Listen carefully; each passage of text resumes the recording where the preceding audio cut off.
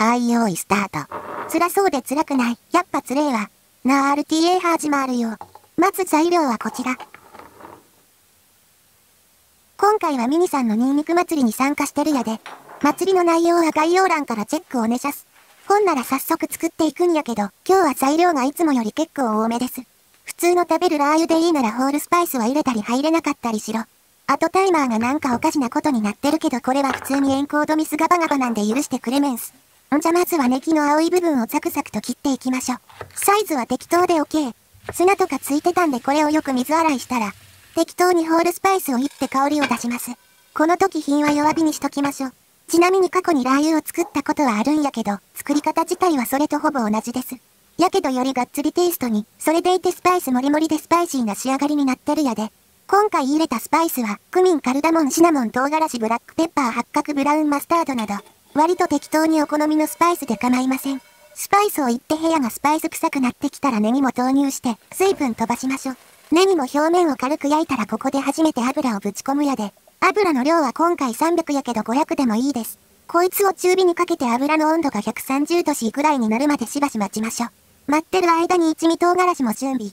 ぴったり 30g なんでこれを使い切りタイプとします。でここに水を入れて軽く練って一味となじませます。これは一味を瞬時に焦がさないようにするためにやります。んじゃ温度計からファーレンハイトを滅ぼしたら、あとはスパイスが焦げないようにひたすら見守りましょう。今回の一番のポイントは、スパイスの風味を効かせるために、パウダーではなくホールスパイスを使うってことやな。どうしても粉のスパイスがいいって人は、同じように作ると粉はすぐ焦げてまうから。そういう場合はラー油ができた後に、冷めてから加えるようにしましょう。あーラー油の音を、な感じになったら鍋の周りに焦げ目がつき始めたんで、ネギで鍋の縁を掃除してます。ボロ雑巾のようにコキ使うのやめてもらっていいですか？後で美味しく食べるのでママエアロ。ちなみに今回入れたスパイスやと一番焦げやすいのはクミンです。とはいえどれか一つでも焦げたらアウツなんで、そこには細心の注意を払ってください。茶色く香ばしい焦げはうまいけど、黒く焦げ臭いのは一気にまずいです。ネギがええ感じにうまそうな焦げ目がついてきたら合図、余熱が入ることも考えてこれより少し前ぐらいのタイミングでストップするのがベストや、ベストすぎてて草。ここでファッとなった人は挙手。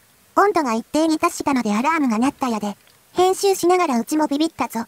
ほんならここにさっきの唐辛子を一気に投入。前回はスパイスやネギはザルでこしたんやけど、今回はスパイスも丸ごと具材として味わうレシピにするから。シナモンと八角だけは硬いんで、後で取り除くことにするやで。一味に水分が若干入ってるから、ここはシュワシュワさせて水分飛ばしてな。ここで甜麺醤、醤油、砂糖を投入するんやけど、思ったより油に甜麺醤が溶けにくいんで、油や醤油で先に溶いてから入れた方がええやで。気づいたら思った以上に黒くなってるんやけど、これは一味の色吸って黒くなってるだけやから、味的にはギリギリセーフ。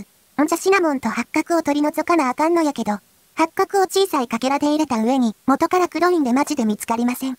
一味を入れる前に取り除けばよかったんじゃないんですかね。それでも5分ぐらいの死闘の末なんとか。見つからなかったんで諦めることにしたやで。ええー、ここガバガバな小皿。唐辛子も若干焦げる手前やったんで取り除いてます。この状態からニンニク入れ始めてもよかったんやけど、若干食べづらそうやったからここでオリチャー発動。ホールスパイスとネギをミキサーにかけて粉々にすることにします。これでどこ食ってもスパイスまみれや。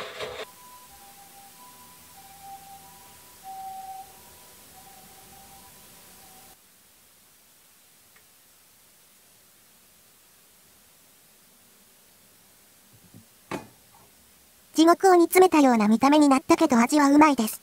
これで超本格派味付きスパイスラー油の完成や。ただしこれはニンニク祭りなんで、ここでやっとニンニクが登場するやで。業務用のクソデカフライドガーリック。そして業務用のクソデカフライドオニオン。こいつを鍋にうぶち込んでやるぜ。と思って意気込んでた時期がうちにもありました。お分かりいただけただろうか。地獄にスプーンが沈んだ。低が油でベトベトになるのいやんごねせや、一旦忘れよ、そうはならんやろ。いや多分油をニンニクが綺麗に吸ってくれてベトベト度合いが減ります。もうこんなのスプーンのお墓じょん。混ぜにくいんで取り出します。さらにベトベトになってたわ。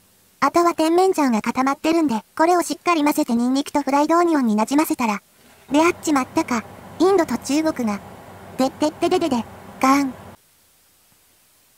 だから近所のうまい唐揚げ屋で唐揚げを買っておく必要があったんですね。白ネギ砂糖醤油お酢ごま油を混ぜるだけの簡単な油淋鶏ソースを作ったら、大量にぶっかけ、辛そうで辛い、100発例、超、スーパー、デラックス、ニンニク、スパイス、ナイアガラ油の完成。ああもうめちゃくちゃだよ。KP。ごく、うん、うまい、例。ほないただきましょ。皿が重いはこれは。パク、うん、めっちゃうまい。ここでタイマーストップ。記録は1時間8分52秒でした。味の感想の前に乾燥した感想ですが、むわーあん疲れたもおーおーおん。でも味はめっちゃうまい。フライドオニオンにもともと塩分が効いてて、そこに甜麺醤や醤油が入ってるから味はかなり濃いめ。ただネギダレとかと合わせるとスパイスの香りが生きてきて、そこら辺の市販のもんでは食えへん超リッチな味わいや。そこがやはりホールスパイス使うとこの強みやな。あと死ぬほど酒に合う。もっと手軽な食べ方やと、納豆や卵かけご飯に混ぜて食べてもよし。チャーハンや豚骨醤油ラーメンに味変として入れても牛丼テイクアウトして加えてもよし。パンにこれとチーズとマヨネーズかけて焼いてもよしといろんなところで大活躍してくれるやで。どっちかというと食べるラー油というよりは食べるニンニクって感じやから、もっと油増やしてもええかな。あと同じ分量で作ったら一人暮らしやと消化めちゃめちゃ大変やから注意やで。スパイスの香りをこれでもかっていうぐらい楽しむレシピやから、スパイス効かせへん場合は甜麺醤や醤油や砂糖の量を調整してみてな。いいねには合計カロリーを書いておきませんでした。サイチェン。